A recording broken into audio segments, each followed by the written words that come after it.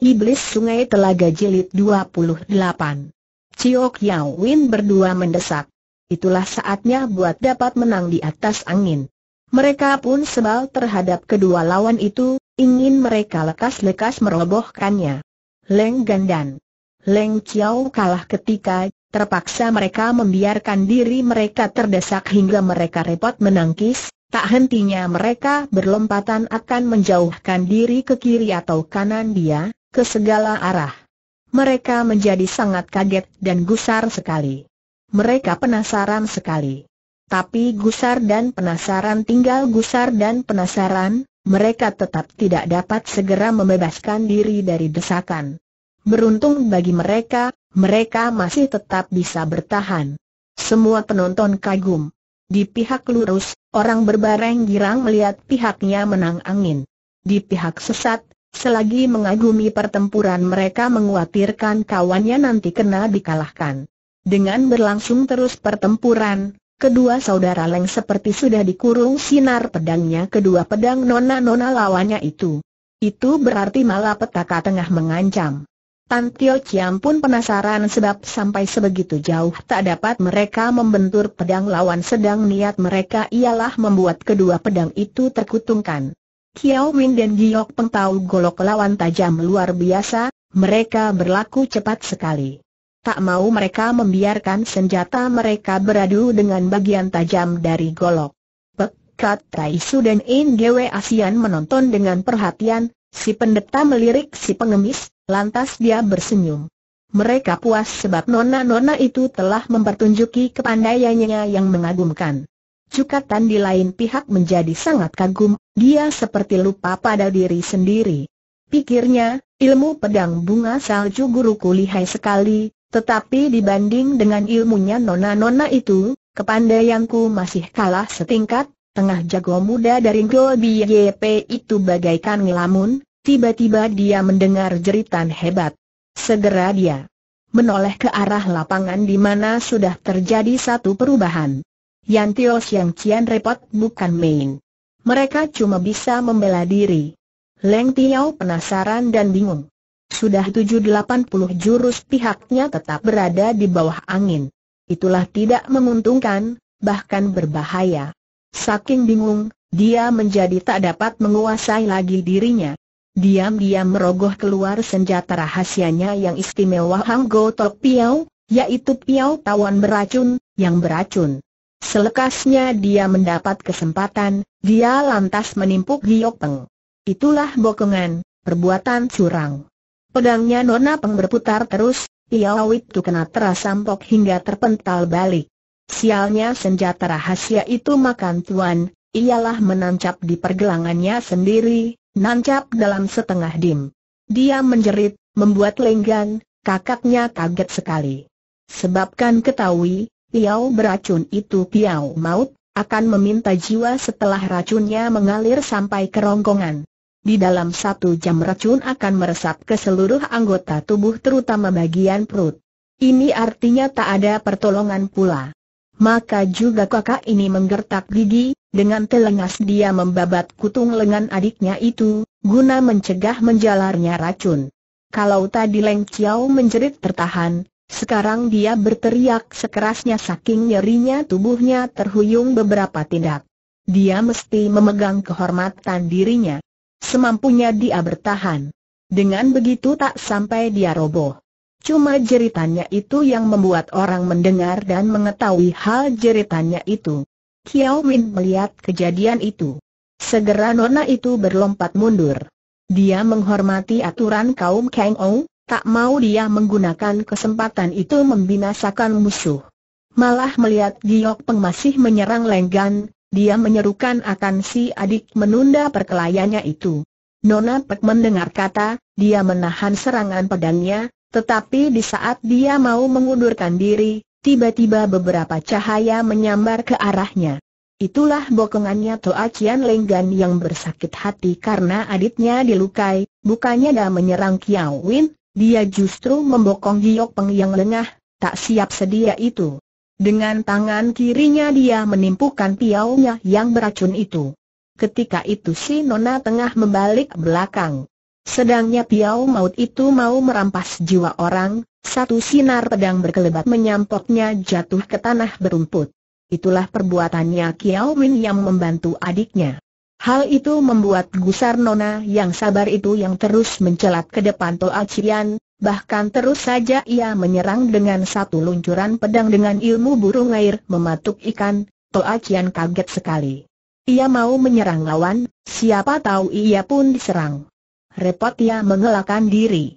Ketika ia menggerakkan lengan kirinya, tepat lengan itu terbabat pedangnya si Nona.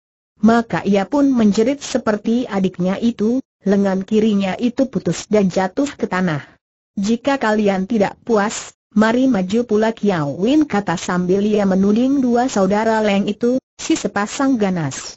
Lenggan menotok tubuhnya sendiri, guna menghentikan darah yang mengucur keluar dari lengannya itu, dengan sinar mata penuh kebencian, dia mengawasi tajam Nona Cio kemudian ia kata sengit, sakit hati lengan buntung ini pasti akan datang harinya yang aku akan tagih dari kau, budak. Berkata begitu jago dari Antio itu menjemput kedua potong tangan mereka, lalu sambil menarik tangan saudaranya lalu pergi mengundurkan diri. Pekat Taisu lantas mengasih dengar suaranya yang nyaring, Lo si Tian Chia, terima kasih yang kau telah sudi mengalah dari dalam rombongan sesat itu bukannya Tian Chia yang menyambut Seng Pendeta, hanya satu suara yang cempreng. Katanya, inilah belum berarti apa-apa. Segera juga Tong Chu nomor satu dari Losat Bun kami dari Aye Laosan, Hang Huyo Lui Siu Pek Licek akan mengajukan dirinya. Pendeta tua berhati-hatilah kau memilih orang untuk melayaninya Tong Chu yang disebut namanya itu sudah lantas muncul bersama sepotong senjatanya yang luar biasa yaitu Tokak Tong Jin, boneka perunggu dengan kaki sebuah, lima jalan darahnya tersimpankan senjata rahasia beracun. Panjangnya boneka itu empat kaki dan beratnya empat puluh kaki. Pek Licek mempunyai kepala besar dan mata bundar, hidungnya hidung singa dan mulutnya besar lebar, pipinya berewokan dan dagunya berjanggut panjang. Dia pula bertubuh besar. Dia mengenakan baju kuning panjang sampai di mulut dan sepatunya sepatu ringan warna hitam. Tiba di lapangan dia berdiri tegak hingga sikapnya menjadi keren sekali, kata orang mirip dengan malaikat penjaga pintu. Siapa bernyali besar, mari muncul akan terima binasa demikian orang itu membuka suara. Suaranya keras, sikapnya jumawa. Suara itu bagaikan guntur kerasnya. Pekat Taisu lantas mengawasi orang-orang pihaknya. Bagaimana kalau aku si tua yang melayani dia tanya Petin Sin Kit yang tak biasanya menjadi sungkan. Pendeta dari Xiao Lim Xie itu menggeleng kepala sambil berkata, jangan tergesa-gesa Lo Sicu, sebentar akan muncul lawan yang tangguh, belum berhenti suaranya Seng Pendeta Go Hoat Traisu sudah muncul dan sembari memberi hormat berkata pada ketuanya, Su Heng, dapatkah adikmu yang keluar perekat Traisu mengangguk dengan perlahan, maka Goai Hoat Traisu lantas berlompat ke tengah lapangan sambil ia membawa siantung, tongkatnya yang panjang mirip toya. Bahkan segera dia memperdengarkan suaranya terhadap pihak lawan, si Chu Pekliecek, apakah sejak perpisahan kita, si Chu masih sehat-sehat saja? Apakah si Chu masih mengenali padaku si pendeta dari 12 tahun yang lampau Pekliecek mengawasi pendeta itu? Lantas ingat ia kepada peristiwa dahulu di jalan di perbatasan Provinsi Siam Se Kamsiok. Ketika itu dalam satu bentrokan dia telah merasai lengan lohan cian dari si pendeta. Hektometer dia lantas memperdengarkan suara dinginnya. Sungguh berbahagia. Sungguh berbahagia di sini kita berjumpa pula berkata begitu ia lantas memutar senjatanya yang luar biasa itu, hingga anginnya menderu-deru. Ia tidak takut. 12 tahun yang lalu ia kalah, tetapi setelah itu ia masuk dalam rombongan Losat Bun dan belajar lebih jauh di bawah pimpinannya Kue Tiok Giampo, maka ia bukanlah pekliecek yang dahulu. Ia sengaja berlaku jumawa guna memancing. Keluarnya si pendeta yang ia tak menyebut namanya secara langsung. Segera setelah kedua pihak berdiri berhadapan, Go Hoatai semulai dengan penyerangannya. Pekliecek menyambut serangan itu dengan satu tangkisan keras, Maka sebagai akibat bentrokan itu, keduanya sama-sama mundur tiga tindak. Go Hoa Taisu tak menghiraukan tenaga lawan yang bertambah itu, ia maju pula kembali ia menyerang. Peklie Cek tertawa. Dia mundur ke samping satu tindak, kepalanya diegoskan. Selewatnya tongkat lawan, dia membalas menghajar dengan hebat, niatnya membuat tongkat terpental terlepas dari cekalan lawan. Go Hoa Taisu dapat menerka maksud lawan itu. Ia mengelit tongkatnya, tetapi bukan ditarik pulang hanya diteruskan dipakai menyerang ke pinggang si orang tak kabur. Pekliai terkejut. Dia tidak menyangka si pendeta demikian cepat. Terpaksa dia harus waspada. Habis berkelit dia berseru, kepala gundul, kau sambutlah ini dan dia menyerang dengan jurusnya membelah bambu. Go Hoat penasaran yang orang masih membelah. Ia menyambut dengan sekuat tenaganya. Ilmu silat yang dipakai ialah Kie Tian Ho atau jembatan di kaki langit. Hebat bentroknya kedua senjata berat itu. Percikan apinya munkrat. Lengan kanannya pekliecek terasa kesemutan dan nyeri, tubuhnya terpental mundur lima tindak. Sebaliknya adalah Go Hoa Taisu, yang kuda-kudanya tangguh. Dia melesak kakinya tiga dim dan tubuhnya limbung, bergoyang beberapa kali. Dengan cepat dia berlompat maju kepada lawan, tongkatnya dipakai menyerang pula. Sembari menyerang itu, ia berkata nyaring, Hang Hwe Yu, kau juga sambutlah tongkatku ini Pekliecek tidak takut. Masih ia mau menguji tenaga lawan. Ia percaya kekuatannya masih akan bertahan. Segera ia menangkis dengan bonekanya itu. Lagi-lagi kedua senjata beradu keras, Suaranya sampai memekakan telinga. Tapi kedua jago tetap sama tangguhnya. Maka mereka terus melanjuti pertempuran mereka. Seperti tanpa terasa, mereka sudah melalui kira 30 jurus. Sekarang ini lengan mereka masing-masing terasa kaku dan darah seperti bergolak di dalam dada mereka. Satu kali mereka bentrok keras lantas keduanya sama-sama mundur. Ketika itu dipakai buat mengatur pernapasan masing-masing, berniat menyerang pula tetapi mereka berjaga-jaga kalau-kalau nanti kena didahului. Di luar kalangan maka Tong Chulo Satbun yang nomor dua habis sabar. Dialah Sam Chiu Pia Kau Huleng, si kera bertangan tiga. Dia habis sabar sebab menanti terlalu lama hingga dia khawatir kawannya nanti kalah sebab sudah selama itu Seng kawan belum berhasil merebut kemenangan. Dia pula bukannya maju akan membantu kawannya itu, hanya dengan tiba-tiba secara diam-diam dan menyerang Go Hoat Taisu dengan senjata rahasianya yang diberi nama tengkorak basi. Senjata itu menyambar dari atas ke bawah, menungkrap kepala. Melihat menyambarnya senjata rahasia lawan, dari dalam rombongan pihak lurus menyambar pula serentetan dari enam buah liamcu, mutiara biji tasbih kaum pendeta agama Buddha, semua menyerang kepada senjata rahasia lawan itu. Tepat serangan itu. Hancurlah senjata rahasia lawan, besinya munkrat keempat penjuru, akan tetapi bubuknya yang berwarna merah tua justru turun dengan perlahan-lahan, turun ke arah Go Hoat Taisu yang sudah tak berdaya. Apakah yang telah terjadi? Kenapakah Go Hoat Taisu roboh? Inilah akibat bentrokan si pendeta dengan lawannya, bentrokan yang terakhir.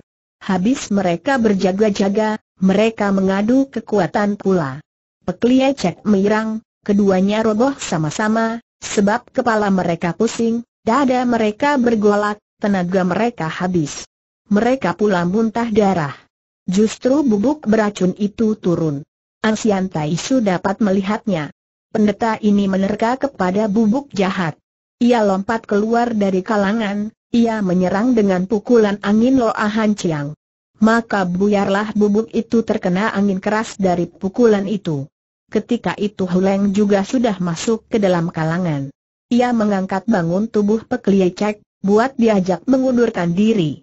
Tiba-tiba cukatan lompat menghampiri, anak muda ini terus menyerang orang si Hou itu, yang ditikam punggungnya. Huleng tidak melihat datangnya orang, dia pula tidak tahu orang menyerangnya. Tapi justru itu, dari rombongan sesat ada sesosok tubuh yang membalas, menangkis membuat pedang si anak muda terpental, berbareng dengan orang itu menegur, eh, bocah, kau tahu aturan rimba persilatan atau tidak cukatan mundur satu tindak, dia mengawasi orang yang menghalangi serangannya itu. Kiranya orang itu ialah Tan Hong dari Hak Keng Barusan orang menyerang dengan senjata rahasianya si anak muda balik menegur. Apakah itu berarti dia menghormati aturan kaum rimba persilatan? Aku hanya menurut buat. Kalau kau berani, mari kau melayani ilmu pedang dari Go BYP barang beberapa jurus. Beranikah kau di saat itu dari kedua belah pihak ada tujuh atau delapan orang yang berlompat keluar, bersiap buat bertarung guna membantai pihaknya masing-masing. Pekat Raisu sudah lantas berseru meminta pihaknya mengundurkan diri dan menyuruh murid-murid Xiao Lim Xie segera membantu Go Hoat buat dibawa balik ke dalam rombongan. Sampai di situ Tian Chie Jin muncul dengan tindakan perlahan. Dia tertawa dan kata, kali ini pertempuran seri pula. Nah, pendeta tua, Bagaimana kalau kita mulai dengan Bumpi Yelicik jago tua ini, tak mau ia menyebutkan soal serangan gelapnya Hauleng itu yang mulai melanggar aturan rimba persilatan. Malah dengan cerdik ia hendak menukar bertarung mereka. Setelah Bon Pai mengadu tenaga dengan cara keras, sekarang ia hendak mulai dengan Bon Pai, cara halus. Terserah kepadamu, si Chu Pinglap selalu sedia untuk melayani sahut Pek Kat Raisu tenang. Tian Chie sudah lantas mengulapkan tangannya maka muncullah Anggan Kuiebo dari Gunung Lisan di Pulau Hailam. Dengan sinar matanya yang bengis jago wanita itu menyapu ke arah pihak lurus, lalu dia berkata dengan suaranya yang dingin yang berada jumawa, Chuan siapakah yang mempunyai kegembiraan untuk mendengarkan lagu Toat Hun Impo dari tenaga dalamku? Ilmunya Anggan Kuiebo itu berarti gelombang lagu merampas roh, Leng Hian Tojin dari Butong Pei sudah lantas menggerakkan tubuhnya menghadapi ketua Xiao Lim Pei. Ia menjura sambil berkata, bagaimana kalau kali ini Pici yang menunjuki keburukanku pekat Raisu mengangguk. Lantas Leng Hian bertindak menghampiri lawan, yang terus tertawa tawar dan kata seenaknya saja. Eh, Leng Hian hidung kebau, benarkan kau mempunyai kepercayaan yang ilmu Hian Bun Lio Kam Chin Kie dari Butong Pei kamu dapat bertahan dari ilmuku? Nah, kau berhati-hatilah ilmu Butong Pei yang disebutkan Anggan Kuiebo itu adalah ilmu tenaga dalam yang berdasarkan Patkwa, delapan diagram. Leng Hian tidak menjawab, hanya sambil bersenyum dia mengerahkan tenaga dalamnya. Ia berdiri tegak mengawasi lawan yang tak kabur itu. Sejenak kemudian, ia mengulur sebelah tangannya, baru setengah jalan, ia sudah berseru perlahan, kau sebutilah Anggan Kuiebo menggerakkan pinggangnya untuk berjaga-jaga, lalu ia mengibas sebelah tangannya, memapak tangan lawan itu. Ia menggerakkan tangannya dengan perlahan tetapi berbareng dari mulutnya terdengar suara tertawa yang nyaring dan tajam seumpama kata suara bajingan. Itulah Toat Hun Impo. Kedua tangan mereka lantas beradu satu sama lain, nampaknya mereka seperti main-main tak taunya kedua. Belah pihak tengah mengerahkan tenaga dalam mereka. Mereka tengah menguji kekuatan masing-masing. Tubuh mereka lantas menggigil, tangan mereka bergemetaran. Selama itu Anggan Kuiebo terus tertawa makin lama suaranya makin keras makin tinggi, terdengarnya tajam sekali hingga telinga orang terasa bagaikan tertusuk-tusuk. Kedua rombongan terpisah dari dua orang itu sepuluh tombak lebih tetapi mereka yang tenaga dalamnya belum sempurna, mereka merasakan kehebatan tawa itu. Itulah yang diumpamakan tangisan keras di Selat Bukiap, tangisan berdarah burung cocok nyanyian iblis di kuburan musim gugur atau tangisan di waktu malam dari seorang janda, toh semua itu masih kalah hebatnya. Semangat orang dapat buyar karenanya. Kat Raisu sudah lantas memerintahkan murid atau kawannya yang tenaga dalamnya kurang untuk bergerak mundur belasan tombak supaya mereka tak usah menjadi korban konyol. Di sana pun mereka harus menjaga diri baik-baik. Di pihak sesat juga orang telah bergerak mundur sendirinya. Di tengah lapangan, kepalanya Leng Hian dan Anggan telah sama-sama mengeluarkan uap putih bagaikan halimun. Suaranya si sesat tak lagi terus-menerus, hanya suka terputus-putus akan tetapi nada dan iramanya tak sedap buat sang telinga. Suara itu membuat hati orang berdebaran. Di dalam keadaan seperti itu, sekonyong-konyong saja Leng Hian Tojin bersiul nyaring dan panjang, hingga siulannya itu berkumandang di lembah dan sekitarnya. Siulan itu pula bagaikan menutup tawanya lawan. Tak lama siulan itu, lalu berhenti tetapi berbareng dengan itu lenyap juga tawanya Anggan Kuyaibo. Maka itu sunyilah medan pertempuran itu. Dua-dua lawan tampak berdiri diam. Uap di atas kepala mereka sudah berkurang. Tangan mereka tapinya masih terus menempel satu pada lain, tak bergeming sedikit juga. Go Hian Tojin, ketua Butong Pen menjadi bingung. Ia tahu bahwa pertempuran segera akan sampai pada detik terakhir. Inilah sangat berbahaya. Dan ia mengkhawatirkan keselamatannya Seng Sute, adik seperguruannya. Buat membantu, ia tidak berani itulah akan melanggar aturan rimba persilatan dan nama baiknya bakal tercemar karenanya. Maka ia menjadi tidak karuan rasa, berulang kali ia mengepal-ngepal tangannya serta menggedruk-gedruk tanah. Selagi sunyi senyap itu tiba-tiba terdengar suaranya pekat Taisu, kali ini kita yang kalah. Leng Hian Totiang, silakan mengundurkan diri terus ia mementangkan tangannya, untuk segera dirapatkan pula. Atas itu maka tubuhnya Leng Hian, mirip boneka kayu, bergerak ke arah rombingannya, datang kepada tangannya si pendeta. Karena Pekat Taisu telah menggunakan ilmu Liap Hun Chiu Sun Kan, menarik roh guna membantu si imam. Ketika itu terlihat Tian Chialojian tahu-tahu sudah berada di tengah lapangan untuk menekan jalan darah Sintong dan Tian Chu di punggungnya Anggan Kuyebo, guna membantu wanita tua itu menyalurkan napasnya. Sebab juga nyonya itu telah sampai pada saat mati hidupnya. Di pihak Xiao Lim Pei, Go Hian juga sudah lantas membantu Leng Hian, adiknya. Selama kedua pihak saling menolong kawan itu, kesunyian tetap berlangsung, cuma deburan angin yang terdengar. Rembulan sudah mulai doyong ke barat. Mungkin waktu itu sudah jam 4 mendekati fajar. Inilah pertempuran yang menjengkelkan, yang memepatkan hati, kata Pat Paisin Kit In Gwe Asian yang menjadi tak sabaran. Hanya sejenak, segera terdengar tawanya Tian Chie Lojin. Ketua pihak sesat itu sudah lantas berkata, Bun Pai yang pertama sudah berlalu. Terima kasih. Terima kasih kalian sudah mengalah. Nah, pendeta tua, masih ada pertandingan yang kedua. Siapakah dari pihakmu yang bakal maju belum lagi Pekat Taisu menjawab, atau Pet Paisin Kit sudah bertindak keluar dari dalam rombongan, terus dia membentak, siluman tua, jangan tertawa. Beranikah kau melayani aku, si orang tua Tian Chie Lojin mengawasi, ia membuat men bibirnya, lalu dengan dingin menjawab, baik, baik. Supaya tulangmu yang sudah tua tidak hancur berantakan, Bagaimana kalau kita main-main dengan batu licin itu? Setujukah kau NGW Asian tertawa lebar? Kita sudah berusia hampir 100 tahun, kalau kita mati, kita tidak mati muda katanya. Kau tidak suka keras lawan keras, baiklah, akan aku turuti kehendakmu. Apakah kepandaianmu itu? Kau keluarkanlah tanpa berkata apa-apa Tian Chie Lojin bertindak ke dinding bukit di kaki puncak, Ingwe Asian berjalan bersama. Rombongan di kedua pihak lantas turut mengikuti mereka itu, guna masing-masing mengambil tempat. Batu yang disebutkan Tian Chie itu berupa seperti tembok, lebar satu tombak persegi, bagian mukanya rata licin, bekas dipapas dengan golok atau kapak. Jadi itulah buatan manusia.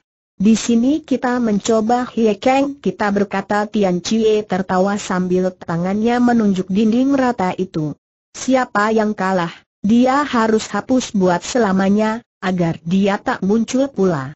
Pengemis tua, beranikah kau berjanji demikian In Gwe Asian tertawa. Siluman tua, apa juga kau katakan, aku terima baik Tian Chie Lojin lantas berdiri di depan dinding batu itu, Tenaganya lantas dikerahkan hingga terdengar otot-ototnya pada meretak. Ia mengeluarkan napas, ia maju beberapa tindak, terus ia mundur beberapa tindak pula. Ini care pengerahan tenaga. Ia ulangi beberapa kali lalu mendadak ia melenggak hingga pinggangnya melengkung keluar dan kepalanya dongak terangkat ke atas. Habis itu mendadak saja ia mengajukan diri, agaknya ia hendak menerjang batu besar itu, atau mendadak pula ia menghentikan tindakannya. Ia mengangkat pula kepalanya dan mukanya diarahkan kepada batu itu, terus ditempelkan. Selagi berdiri diam itu, segera juga tampak keluar dari arah mukanya. Pinggang dan kakinya diluruskan tetapi kedua belah pihak tangannya bergerak-gerak seperti bergemetar. Selama itu tampak mukanya seperti melesak kepada permukaan dinding.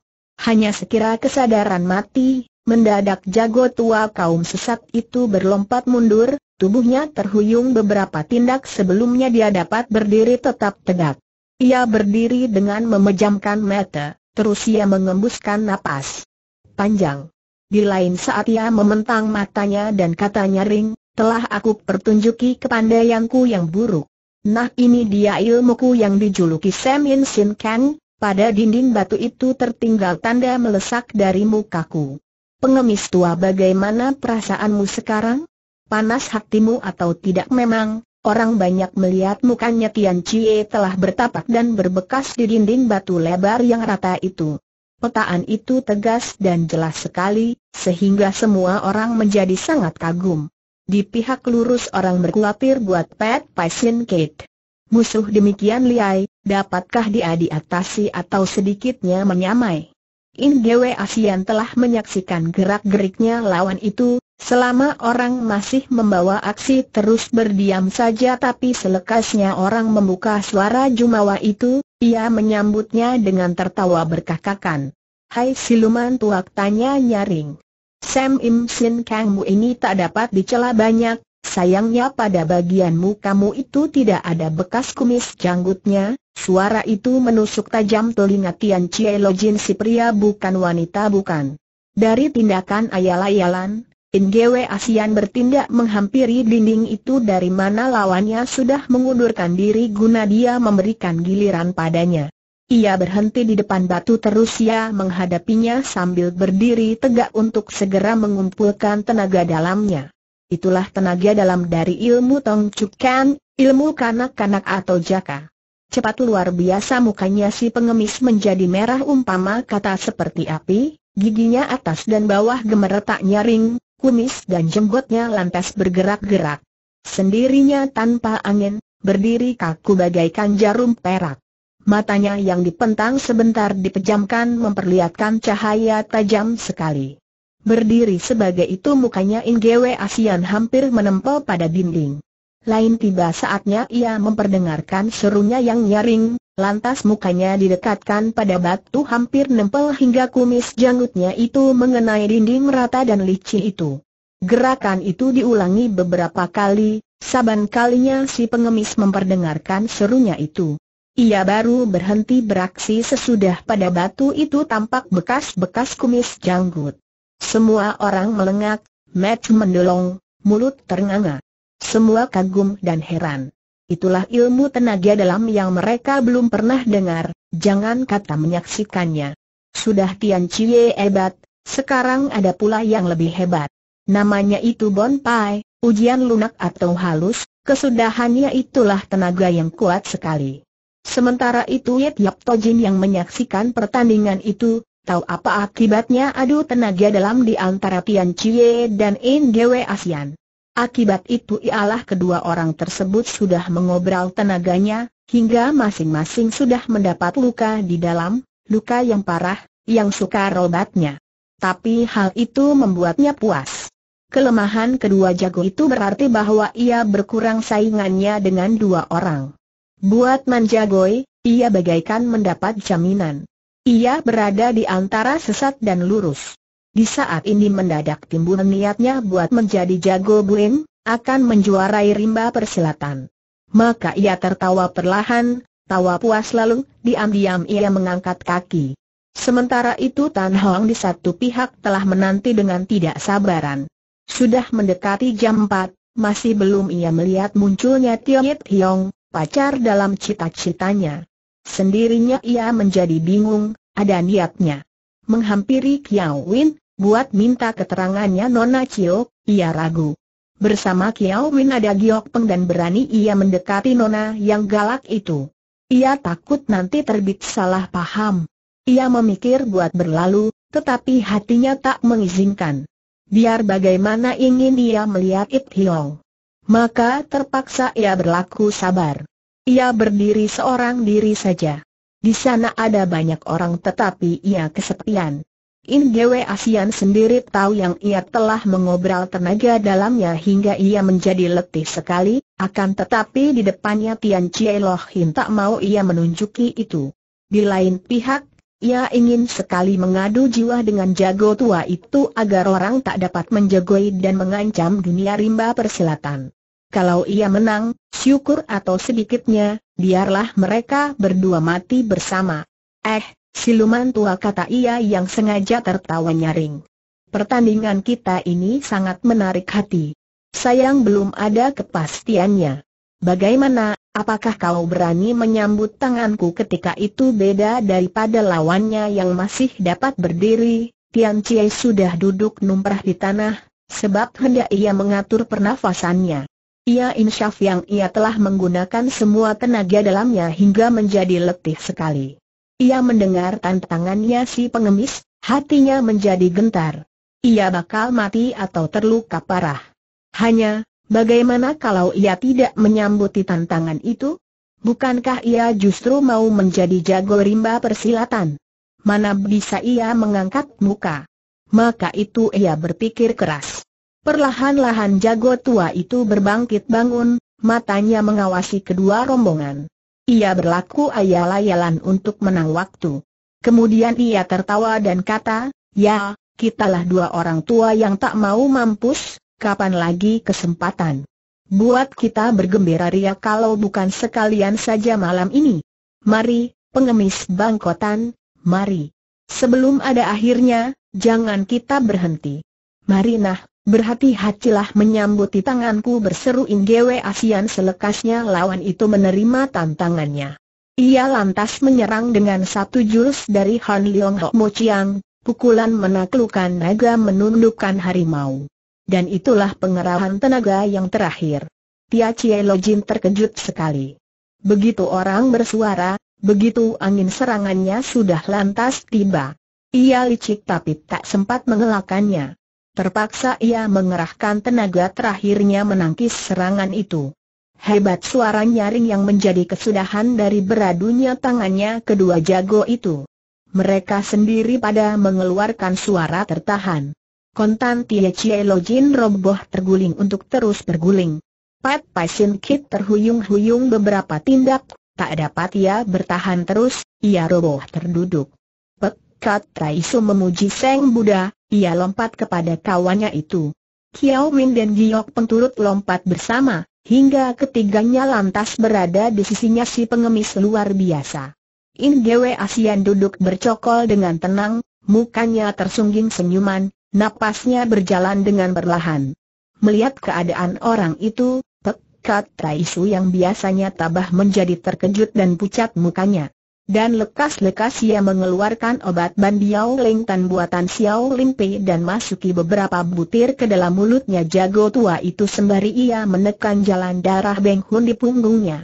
Kiao Win dan Giok Peng memegangi In Gwe Asian di kiri dan di kanan, mereka mengucurkan air mata melihat keadaannya. Paman itu yang napasnya tinggal satu kali dan satu kali tarikan saja tarikannya sangat lemah. Pamanen. Paman mereka memanggil-manggil. Paman In, bagaimana kau rasa, juga semua orang lainnya kau melurus menjadi sangat berduka. Tian Chie Lojin juga telah digotong pergi oleh rombongannya, yang tak mempunyai harapan lagi atau kelanjutan jiwanya. Menyaksikan keadaan itu Jie Mo Lam Hang Hoan, bajingan nomor dua dari Chu Leong Chu berkata keras, hektometer beginilah tingkahnya orang-orang partai-partai besar dari Tionggoan. Tingkahnya mirip lagak wanita saja. Apakah yang aneh kalau orang bertempur dan binasa? Apakah cukup dengan ditangiskan saja? Hayo bilang kalian berani atau tidak untuk bertempur dengan kami sengaja Lam Hang Hoan berkata demikian karena ia melihat pihak kaum sesat sudah kalah semangat disebabkan runtuhnya Tian Chie Lojin, orang yang sangat diharapkan oleh golongannya. Ia hendak membantu mukanya. Ketika itu Pek Kat Taisu tengah membantu Inggewe Asian, ia mengerahkan tenaga dalamnya. Tak dapat ia melayani orang bicara, maka ia melirik dan mengedipi mata pada Liao Win, adik seperguruannya itu yang menyambuti orang bicara. Belum lagi pendeta itu muncul atau Leng Hian Tojin dari Butong Pei sudah mendahuluinya. Rahib itu maju dan mengangguk kepada Lam Hang Hoan, dan sembari tertawa bertanya hormat. Ada pepatah berkata ular tanpa kepala tak dapat jalan. Maka itu, Lam Si Chu, selagi Tian Chie Jin telah menerima keruntuhannya, punyakah kau tenaga atau kemampuan untuk menggantikannya memimpin kawanan dari luar lautan kamu, untuk membuat pertandingan ini dilanjutkan ditanya begitu Lam Hang An bungkam, hingga ia berdiri dalam saja. Teng Hiang dengan air mata bercucuran bertindak maju. Berdiri di sisinya Lam Hang An terus dia menuding Leng Hian untuk berkata keras, hidung kebau, jangan berbicara takabur. Tentang sakit hatinya guruku ini, aku Teng Hiang, aku bersumpah akan aku perhitungkan dengan kau sekalian. Hari ini biarlah suka aku mengasih lewat kepada kamu tetapi nanti sesudah lewat satu tahun akan aku cari kamu buatku mencari keadilan ketika itu sinarnya si putri malam sudah mulai suaram, Selagi baru saja si Nona berhenti bicara dari atas puncak tempat satu bayangan orang berlompat turun sembari lompat itu, bayangan itu memperdengarkan suaranya yang keras. Buat apa menunggu sampai satu tahun lagi? Tak dapatkah itu dilakukan malam ini juga segera terlihat orang itu ada seorang muda dengan jubah panjang, di belakangnya tergendol pedangnya. Dia berwajah tampan dan gagah. Kiranya dialah Tiongit Hiong. Melihat anak muda itu datang secara tiba-tiba Pek Giok Peng lantas berbangkit hendak ia berlari menghampirinya, tetapi baru ia berseru adik Hiong atau ia sudah ditarik oleh Wen yang segera ia berkata padanya perlahan. Sabar adik. Lihat dulu dia yang palsu atau bukan. Luar biasa Nona Cio. Sekalipun dia sangat memikirkan It Hiong dan mengharap-harapnya di dalam keadaan sulit seperti itu masih dapat ia berwaspada. Di saat itu maka dari sisi dinding puncak pun tampak munculnya satu tubuh yang langsing yang terus menghampiri It Hiong di depan siapa dia tertawa manis dan menyapa merdu, adik Hiong. Mengapa baru sekarang kau datang pada punggungnya nona itu tampak senjatanya yaitu San Hopang maka tak salah lagi dialah Tan Hong dari Hak Keng Chou. Dan dia datang langsung pada si anak tanpa ragu-ragu lagi. Tak puas Giok Peng melihat tingkahnya Nona Tan. Seperti biasanya rasa jelusnya muncul tanpa dapat dicegah, hanya dia dapat tidak sembarang bertindak. Ia cuma berkata nyaring kepada si anak muda, paman interluka parah sekali. Dia saat mati hidupnya. Lekas kau membantu membantunya. Kenapa kau ayal-ayalan Ohit Hiong memperdengarkan suaranya lantas ia berpaling kepada Lem Huang Hoan dan Teng Hiang untuk melirik sesudah itu, dia menghampiri In Gwe Asian. Pek Giong Peng mau memapaki si anak muda itu. Lagi-lagi ia dicegah Kiao Wen. Ia menjadi tidak puas. Maka ia menoleh kepada kakak itu, akan menatap matanya. Atau ia melihat Nona Chiot terdiam mengawasi tajam kepada si anak muda. Tiongit Hiong bertindak turut kepada In Gwe Asian. Selekasnya dia datang dekat, bukannya dia menghampiri ayah angkat itu, guna menyapa atau membantunya, mendadak dia menggerakkan tangannya untuk menyerang. Kurang ajar demikian satu bentakan nyaring halus yang dibarengi dengan serangannya kepada tangannya si anak muda, guna menghadang serangannya dia itu. Menyusul itu bangun berdirilah Nona yang berseru itu yang menyerang dengan tangan kirinya kepada orang sambil dia mendamprat, Hai, bangsat yang tak tahu malu. Bagaimana kau begini kejam menyerang kepada orang tua yang lagi tak berdaya kata-kata itu adalah campuran panas hati dan menyesal, ketika Giok Peng mendengar itu, dia bagaikan terasadar. Pekat Tais lagi menolong Ingewe Asian, ia toh menoleh mengawasi si anak muda. In Gwe Asian sudah sadar, ia turut mengawasi juga. Semua orang pihak lurus itu menjadi heran, kenapa Yit Hiong bersikap demikian aneh? Kenapa dia menyerang ayah angkatnya sendiri? Kenapa dia bentrok dengan Nona Cio? Giok Peng pun heran hingga ia berdiri bengong saja. In Gwe Asian mengawasi sebentar walaupun matanya rada kunang, ia toh lantas mengenali anak pungutnya itu. Ia menjadi gusar sekali. Dengan suara tak tegas, ia berkata keras, anak Hyong tahan. Apakah artinya perbuatan anehmu ini saking mendongkol, napasnya jago tua itu menjadi sesak. Ia pingsan seketika. Paman Enjangan bergusar Kiao Win berseru. Dia ini It Hyong palsu, mendengar suaranya Kiao Win, Giok Peng dan Hong bagaikan dihajar guntur lantas mereka sadar. Sebaliknya para hadirin semakin heran. Tiba-tiba cukatan murid Go BYP berseru, dia yang telah menyerang ayah angkatnya sendiri, dia juga menempur. Tunangannya, dia sama jahatnya dengan satu bajingan. Maka itu jangan pedulikan dia yang tulen atau yang palsu. Mari kita bekuk dia.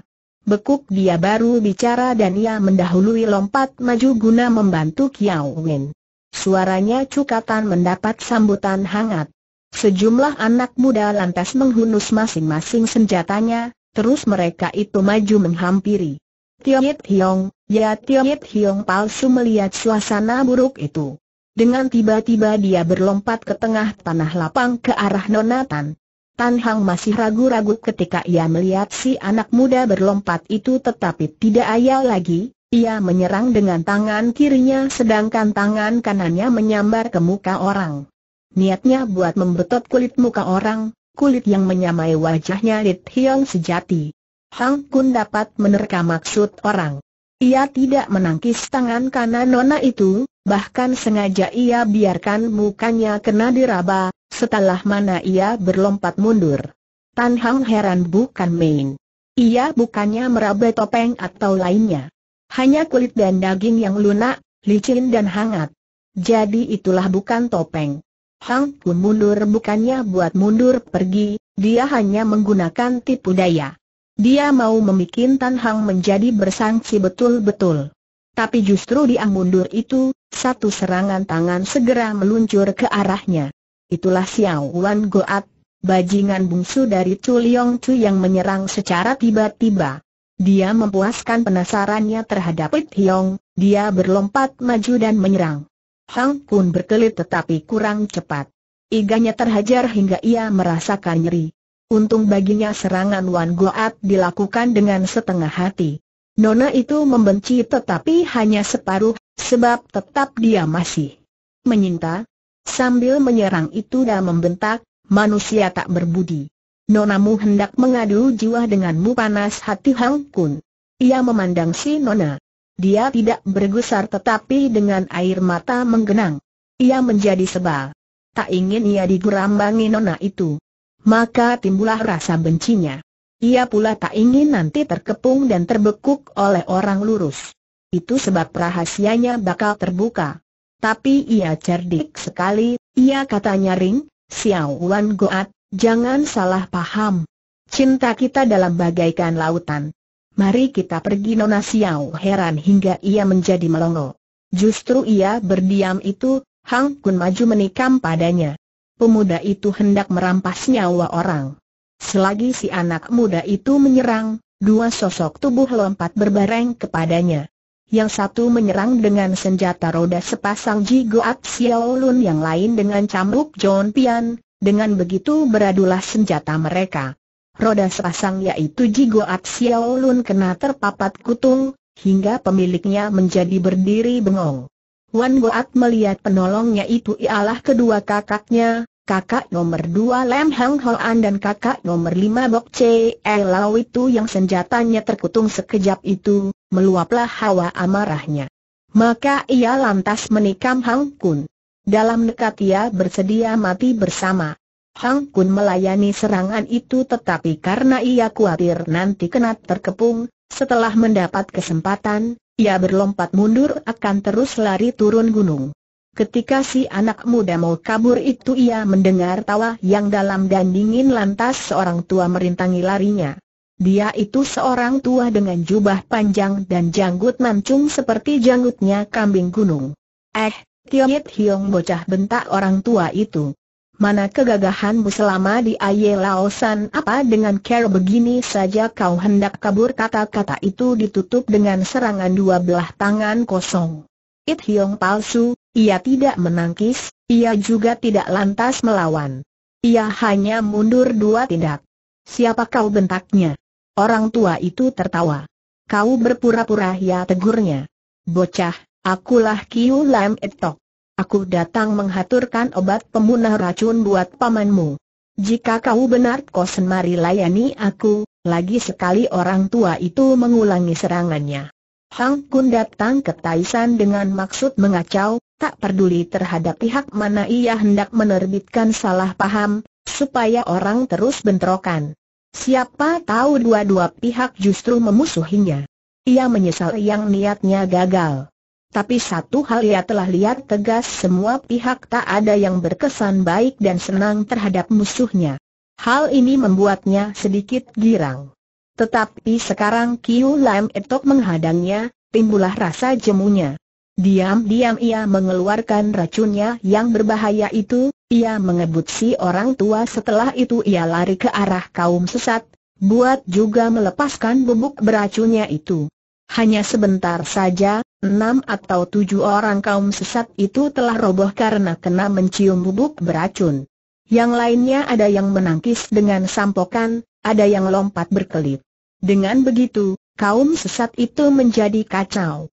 Anggan Kuiebo dari Ngero Chiesan mempunyai seorang murid bernama Chiu Hok A, murid itu tidak tahu selatan, hendak dia membokong penyebar maut itu, dengan berani dia lompat menerjang atau dia lantas terkena bubuk beracun, kontan dan roboh tak sadarkan diri. Anggan Kuiebo terkejut. Lekas-lekas ia menutup jalan darahnya sendiri, ia menahan napas, sambil berbuat begitu ia lompat ke depan untuk menjemput, memondong muridnya itu, buat dibawa pergi. Hanya belum lagi ia mengangkat kaki, satu sinar pedang sudah berkelebar ke arahnya. Ia berkelit dengan memutar tubuhnya, hingga ia bisa lantas melihat penyerangnya itu, ialah Tiongit Hiong palsu. Ia menjadi gusar sekali, ia lantas membalas menyerang dengan tangan kiri, terus ia membuka suara, akan menyanyikan lagu yang lihai itu, lagu Toat Hun Impo, gelombang irama merampas nyawa. Mendengar suara itu, Kontanit Hiong palsu menggigil, pernapasannya menjadi tidak karuan, tubuhnya terus terhuyung-huyung. Lekas-lekas dia berdiam diri, guna menetapkan hati, buat mengatur pernafasannya. Dengan begitu, tak dapat ia berkelahi lebih jauh. Anggan Kuiebo bingung, hendak ia membantu muridnya, melihat orang tidak bergerak lebih jauh, ia menghentikan suaranya, ia bawa muridnya itu masuk ke dalam rimba. Lam Hang Hoan dan Xiao Wan Goat mengejar si anak muda, selagi mendatangi, mereka mendengar suaranya jago wanita dari Gergo Chiesan itu, Pikiran mereka kacau, lekas-lekas mereka berhenti berlari guna mengatur pernafasan mereka. Selekasnya suara berhenti dan sinyonya tua lari terus, baru mereka mengejar pula. Hang Kun panas hati dan penasaran menyaksikan ia masih dikejar Hang Hoan dan Wan Goat. Lantas ia menyambuti, mendahului menikam si orang silam. Eh Wan Hoan juga gusar. Ia melancarkan John Pian hingga cambuk itu menjadi kaku dan panjang seperti tombak, menikam ke dadanya si anak muda. Hang Kun menangkis dengan satu tebasan, niatnya supaya cambuk lawan bisa ditebas kutung. Tapi Hang Hoan Liai, dapat ia menarik pulang senjatanya untuk dipakai mengulangi serangannya, dengan begitu dapat ia mendesak lawan, yang terpaksa berkelahi sambil mundur. Menyaksikan si anak muda terdesak, Xiao Wan Goat tidak maju membantui kakaknya. Dia hanya berdiri dan untuk menonton. Rasa tak tega terhadap si anak muda membuat hatinya goncang dan serba salah. Sesudah Hang pun mundur tiga tombak lebih, mendadak Kiu Lam Etok muncul pula, jago itu terus berlompat maju sambil menyerang sembari dia menyerukan, lihat tanganku Hang pun repot. Ia dikepung dari depan dan belakang. Sementara itu, ia sudah bermandikan peluh. Satu kali ia berlompat sambil menyerang, di saat Hang Hoan berkelit ia berlompat terus. Maka tibalah ia di sebelah barat tanah lapang itu, di tempat rombongannya kaum melurus. Tepat itu waktu Tan Hong berlompat maju pula. Si Nona penasaran, maka ingin dia ketahui, It Hiong itu It Hiong palsu atau tulen. Di lain pihak dia melihat Kiao Win berdua giok pentengah mengawasi tajam kepada It Hiong, rupanya mereka itu tengah meneliti anak muda itu. Maka berpikirlah dia, mereka itu istrinya It Hiong. Mereka dapat berlaku sabar, kenapakah aku tidak? Kalau aku maju terus, bukankah orang akan mentertawakan aku? Baiklah, aku bersabar, maka dia mundur pula. Ketika itu terdengar suaranya Giok Peng berkata kepada Kiao Win, kakak, kalau dia bukannya adik Hyong, kenapa dia menyerang pihak sana? Wanita dari Chuliong Tu itu seperti juga mempunyai hubungan yang tak layak dengan dia. Bagaimanakah pandangan kakak Tan Hang menoleh ke arah dari mana suara itu datang? Dia melihat Kiao Win menarik tangannya Giok Peng dan berulang kali menggelengkan kepala, mulutnya bungkam, matanya tetap menatap Pit Hiong. Kiu Lem Etok Sia Hang bersama Lam Hang Hoan sudah mengambil sikap mengepung bersama akan tetapi sepasang tangan kosongnya tidak dapat menandingi Golokia Hoat dari Hang Kun, tak berani tangan berdarah daging itu menyentuh pedang yang tajam itu, bahkan pedang mustika, maka sering dia merubah serangannya atau berlompatan berkelit. Maka juga lantas juga dia terdesak menjadi pihak yang diserang. Karena dia terdesak itu, dia membuat sulit juga pada Lam Hang Hoan, kawannya hingga cambuk panjang si Lam itu tak berani sembarangan diluncurkan, khawatir nanti mencelakai kawan sendiri. Dengan demikian Nit Hiong palsu menjadi mendapat angin.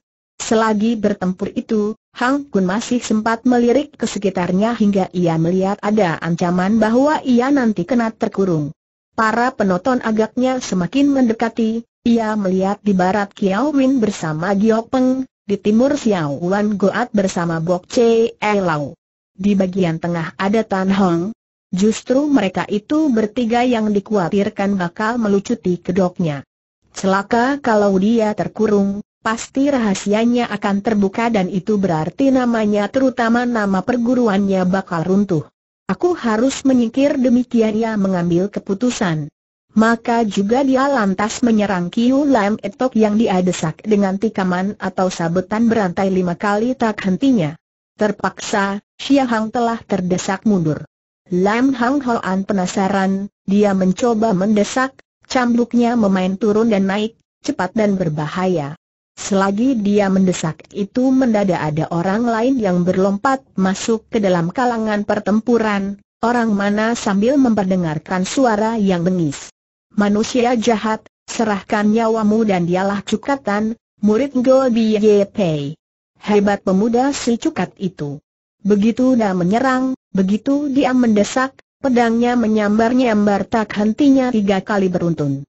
Hang Kun repot, hingga tanpa merasa ujung bajunya terhajar cambuknya Hang Hoan dan robek. Dia menjadi kaget, tak mau dia membuang waktu lagi. Lantas dia menjatuhkan diri dengan jurus tidur mabuk di atas pasir.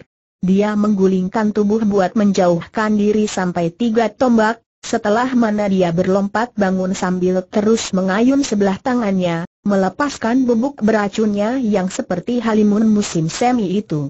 Dengan senjata rahasia itu, dia menghadang orang mengejarnya. Dia sendiri terus lari turun gunung.